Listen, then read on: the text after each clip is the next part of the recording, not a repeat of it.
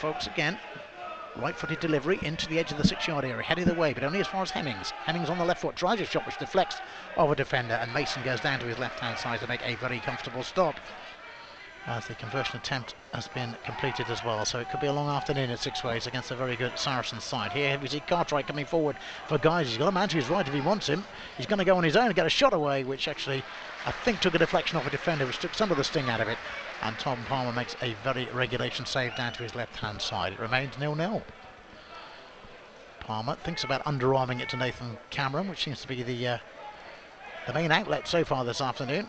And now, in fact, he's going to clear it from the turf, right-footed, looking for Amari Morgan-Smith, who jumps against George Cantrell, and Morgan-Smith will get it down and find Sterling. Sterling out to that left-hand side. Chance here for Caleb Richards to build. Richards tricky little customer. Now he delivers the ball in towards the near post. That's in. It's a goal. Harriers have scored. Hemmington is taking the uh, credit. Well, in the end, it was that simple. Hemmington is taking all the plaudits. But a lot of the credit for that goes to Caleb Richards. Tricky little run down the left-hand side. Lovely ball in. And a straightforward header into the net. I did wonder... There's plenty of height in there if they can get the delivery right. Harriers need to be alert. Here comes the corner, right hand side, plenty of height on it. And uh, oh, it drops inside the area. Shot, shot comes in, which is charged down. The second shot, which is deflected wide for another corner. Well, just for a moment, Harriers guilty of almost switching off at the back there. The first shot was very well blocked, to be fair. The second effort, cannon off a Harriers leg, and here's Sterling. It was a fairly quiet game so far, Omari Sterling, I think, and bounces off a defender. Will try and win it back. Now does really well actually to win it back. Now then, Sam Austin's got a bit of space in front of him. He's got to Sterling going on the overlap. Austin delivers it in, header comes, and it's just going to loop over the crossbar. But that's Harriers' best moment for, I reckon, 25 minutes. Yep, you'd be right. Yeah, 34, 34th minute now. Uh, Sterling finds Richards. Sterling. Forward it goes. That's a good ball. Finds Sam Austin, who's onside. Austin just on the edge of the area. Can he get his shot away? He can, and it's just over the bar. And in fact, it took a deflection. It's a corner to Harriers. Now that is by far and away the best moment for half an hour. They scored in the sixth minute did Harriers, 36 played now. And that Hemming standing on the goalkeeper's toes breaks away now, offers the short option. Sterling seems to be taking all day to take this, and the, uh, the referee now will encourage him to get on with it, I think. It's played short to Hemmings.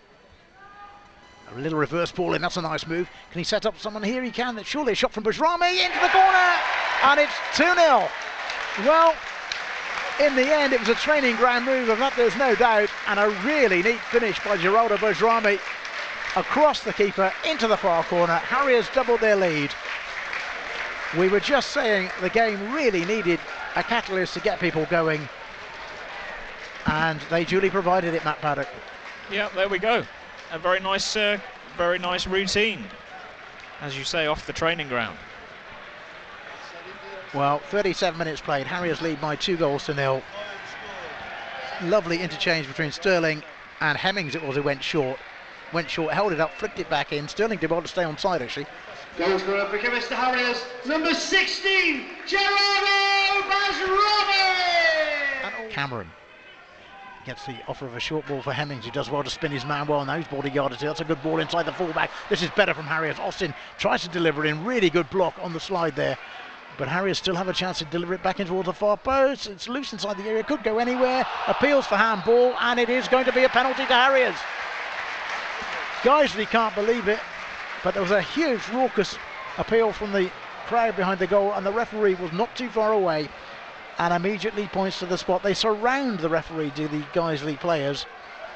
Eventually, the referee is happy. It's going to be Ashley Hemmings, left footed, with this penalty.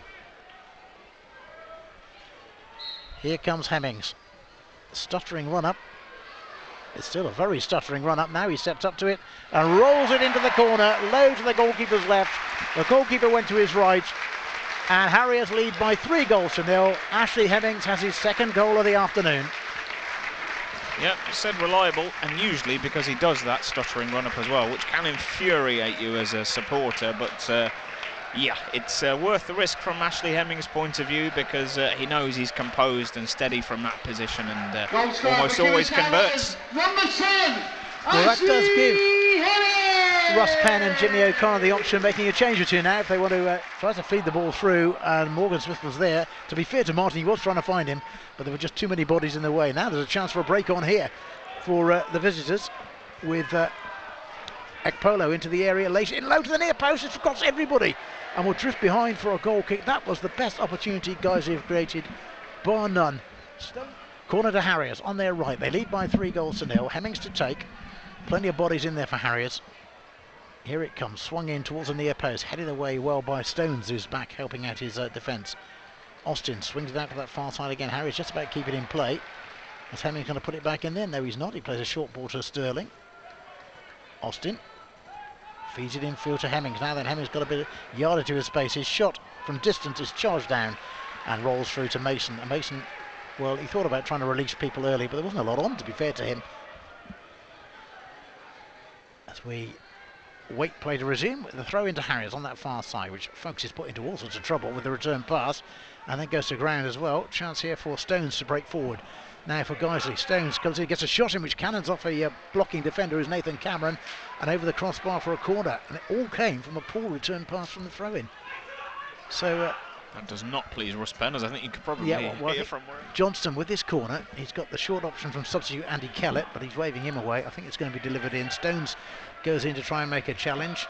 It's delivered in, and a header comes in from Cantrell, which in the end is well over the crossbar. But that was another training ground move, but not as successful as Harriers' training ground move of the first half. Harrier, the uh, visiting captain, Spencer, Also, you can understand the need for urgency and for something out of the game for Guiseley because it's a really disastrous day for them otherwise if scores stay the same. However, you can't afford to be throwing yourselves in too much in challenges as we've seen in the last few minutes because as you point out there, we'll be reducing their number. Yeah, could come down to goal difference yet. You don't know at the bottom. It's um, very tight now. There's a chance of them breaking forward here. A good shot, good save by Palmer as well. It was uh, Johnston who broke forward, and uh, good save by Palmer. He's had virtually nothing to do all afternoon, and he got down smartly to his left-hand side and beat that one away. I think individually they've got some very good players. I've liked the look of him Becker at the back. Oh, here's a chance for Harriers breaking forward now for a cross shot, which is uh, smothered by Mason going down to his right hand side, gathers it at the second attempt. It was uh, Sterling just breaking clear. Still, they're trying to play football, guys, to their credit, but they have come up against a side far better than them this afternoon. It's finished Kidderminster Harriers 3, Guiseley nil.